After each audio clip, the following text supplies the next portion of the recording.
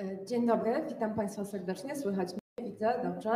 E, e tak, e, dokładnie tak jak Pani powiedziała i, i, też nawiązując do zakończenia wystąpienia Pana Kuby Wygnańskiego, e, ja przyjeżdżam do Państwa bezpośrednio z samorządowego okrągłego stołu, który się odbył we Wrocławiu na zaproszenie pana prezydenta Wrocławia. Spotkało się tam ogromne grono samorządowców, przedstawicieli, przedstawicielek organizacji pozarządowych, ale też e, przedstawicieli i przedstawicielek migrantów, e, osób z Ukrainy i nie tylko.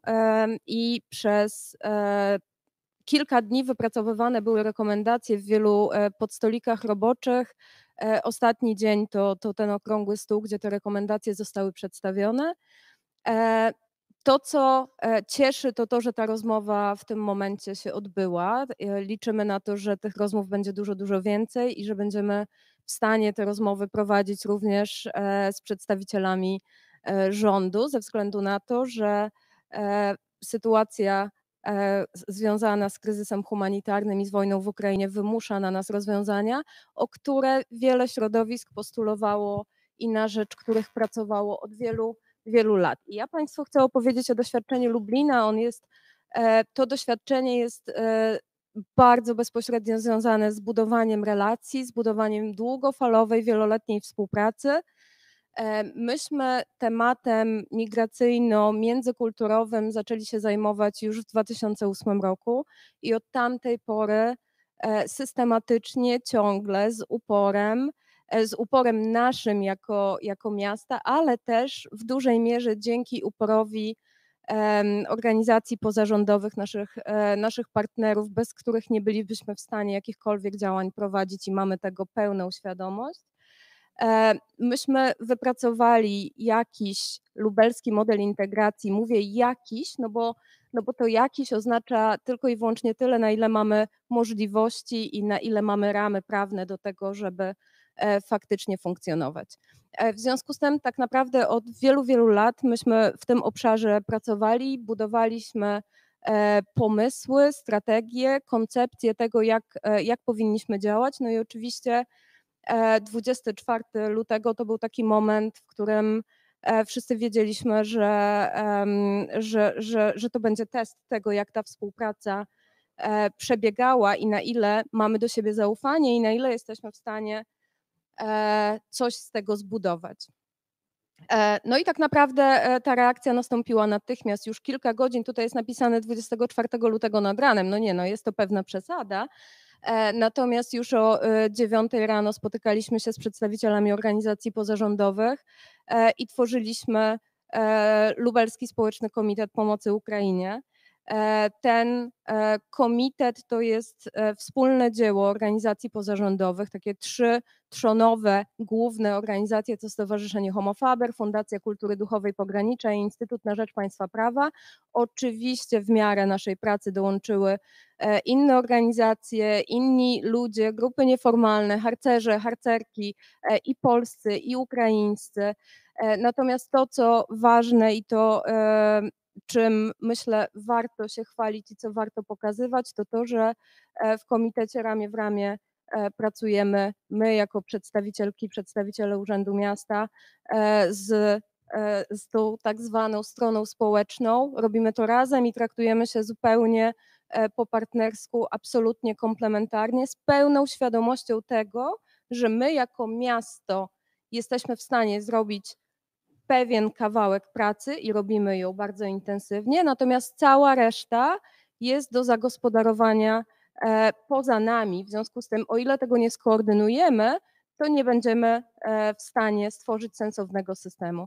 Myśmy zaczęli pracę nad przygotowywaniem się już 18 lutego, a tak naprawdę dużo wcześniej. Ja pokazuję zdjęcie, bo e, Komisja Dialogu Obywatelskiego, którą mamy do spraw miejskiego systemu integracji migrantów i migrantek, już 18 lutego spotykała się z przedstawicielami wojewody, e, z wojewodą lubelskim, z prezydentem miasta, z przedstawicielami ambasady ukraińskiej. Myśmy rozmawiali o tym, co zrobimy jeśli, jak zareagujemy, jeśli oczywiście była to ciągle rozmowa z, naszego, z naszych nadziei na poziomie teoretycznym, natomiast mieliśmy pojęcie o tym, jak będzie wyglądała odpowiedź rządu i co w związku z tym będziemy musieli E, zorganizować dodatkowo. Myśmy mieli świadomość tego, że jakiekolwiek e, działania rządowe, systemowe nie zostaną podjęte, one będą wymagały po prostu ogromnego wysiłku i nakładu pracy po to, żeby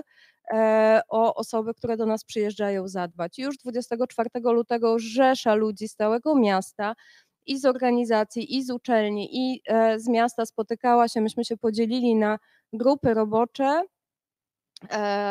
bardzo szybko uruchomiliśmy infolinię całodobową. Ta infolinia pracuje 7 e, dni w tygodniu, 24 godziny na dobę. E, do końca marca mieliśmy ponad 14 e, tysięcy odebranych telefonów.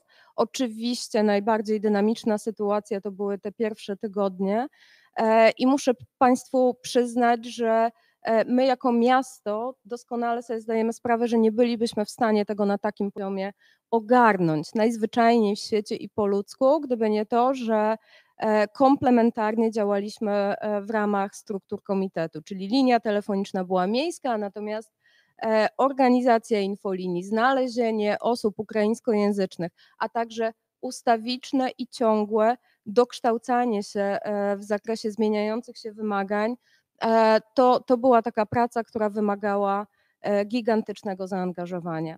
Myśmy e, zbudowali tak zwany punkt zakwaterowania, w ramach którego szukaliśmy i dążyliśmy do tego, żeby bezpiecznie kwaterować osoby z Ukrainy w prywatnych mieszkaniach. I tutaj duży nacisk na bezpiecznie, ponieważ doskonale Państwo wiecie, że fantastyczny zryw społeczny, jakiego byliśmy wszyscy świadkami, jesteśmy wciąż, E, to 90, pewnie 9% e, wspaniałej, dobrej woli i czystych intencji, ale oczywiście myśmy mieli świadomość, że musimy robić co w naszej mocy, żeby zapobiegać e, tym rzadkim, ale jednak zdarzającym się przypadkom wykorzystania bądź E, jakichś trudniejszych historii, w związku z czym e, ten system budowaliśmy w taki sposób, żeby zapewnić bezpieczeństwo obu stronom, ale też w tym momencie pracujemy tak, żeby wszystkie te rodziny, wszystkie te osoby, które przez ten system komitetowy przeszły, e, były zaopiekowane w ramach bardzo sprawnie działającej asysty takiej w życiu codziennym. E, w tym momencie pracuje z nami 171 wolontariuszy i wolontariuszek i to jest codzienna praca ciągle w punktach noclegowych, e, na dworcach, e, we wszystkich miejscach, w których migranci i migrantki z Ukrainy mogą potrzebować wsparcia i pomocy. I bez tych osób to są głównie studenci, studentki z Ukrainy, ale też z Białorusi, z innych e, państw, w których znajomość języka rosyjskiego jest rzeczą oczywistą. My bez nich nie bylibyśmy w stanie zbudować e, przyjaznego e, miejsca. Współpracujemy z izbami adwokatów i radców prawnych e, z organizacjami pozarządowymi, tak żeby porady prawne były, były częścią systemu ciągle i zawsze, e, a także wspólnie z Centrum Interwencji Kryzysowej budujemy wsparcie psychologiczne, które jest absolutnie niezbędne i też bez tych możliwości współpracy pomiędzy komitetem a miastem byłoby to znacznie trudniejsze do zorganizowania przygotowujemy materiały informacyjne, dystrybuujemy je, budujemy e, bazę wiedzy, tak żeby, żeby wszyscy czuli się w tej sytuacji jak najbezpieczniej. No ale to, co najważniejsze, e, to nieustannie spotykamy się i widzicie Państwo na zdjęciu e, piwnicę Centrum Kultury w Lublinie, które, które komitet od 24 lutego gości u siebie i opiekuje się. I my w tej piwnicy spędziliśmy e, te, te, te dwa miesiące, e, codziennie się spotykając, aktualizując to, co się dzieje. Na tym zdjęciu widzicie Państwo osoby z organizacji pozarządowych, wolontariuszy, ale też osoby z Urzędu Miasta. E, także bez tej takiej ciągłej, codziennej koordynacji nie bylibyśmy w stanie zadbać o to, żeby, żeby faktycznie odpowiadać na aktualne potrzeby, na te potrzeby, które się zmieniały, bo sytuacja zmieniała się i zmienia e, bardzo dy, dynamicznie. To takie migawki z tego oczywiście ja jestem przekonana, że tak jak jesteście Państwo obecni na tym spotkaniu, e, znacie te, te, te obrazki ze swoich miast i miejscowości. E, oczywiście korzystamy z każdej pomocy i te, e, ta współpraca jest wielosektorowa. Tutaj mamy przedstawicielkę e, biznesu na zdjęciu. Mamy ogromne szczęście i dużą wdzięczność do tego, że tych pomagaczy znalazło się u nas na, na naprawdę, naprawdę dużo. No i tak jak mówię, gdyby, gdyby nie to, że te relacje myśmy wybudowali dużo, dużo wcześniej, że pracowaliśmy nad tym systematycznie od lat, nie bylibyśmy w stanie tego robić w tak skoordynowany e, i w tak e, sensowny sposób. To, o czym chcę powiedzieć, to to, że e, bardzo staramy się już w tym momencie pracować długofalowo i myślą, myśleć o tym, co dalej. Wyławiamy talenty. Miasto przy pomocy organizacji pozarządowych zatrudniło 53 nauczycielki, które już pracują w lubelskich szkołach i wspierają integrację uczniów cudzoziemskich. Budujemy partnerstwa, zależy nam na tym, żeby robić to jak najsensowniej. To jest moment podpisania partnerstwa z wielką organizacją e, humanitarną Danish Refugee Council. To partnerstwo podpisało i miasto, i e, wiodąca organizacja pozarządowa z komitetu. A jest to ważne dlatego, że oni wspierają nasze kompetencje, tak? Bo okazuje się, że nie wystarczy mieć dobrą wolę, nie wystarczy mieć świetnych ludzi i, i całkiem skoordynowany system, warto jeszcze mieć wiedzę na temat tego, jak to robić dobrze i o tę e, o tę wiedzę zadbać. E, I to, co myślę kluczowe, to to, że my mamy plan na to, co dalej e, i budujemy strategię wyjścia tam, gdzie to jest konieczne, ale też nieustannie pracujemy nad E, włączaniem i nadbudowaniem spójnej społeczności. To jest taki przykład. Pan prezydent miasta Lublina powołał pełnomocnika do spraw włączania poprzez kulturę.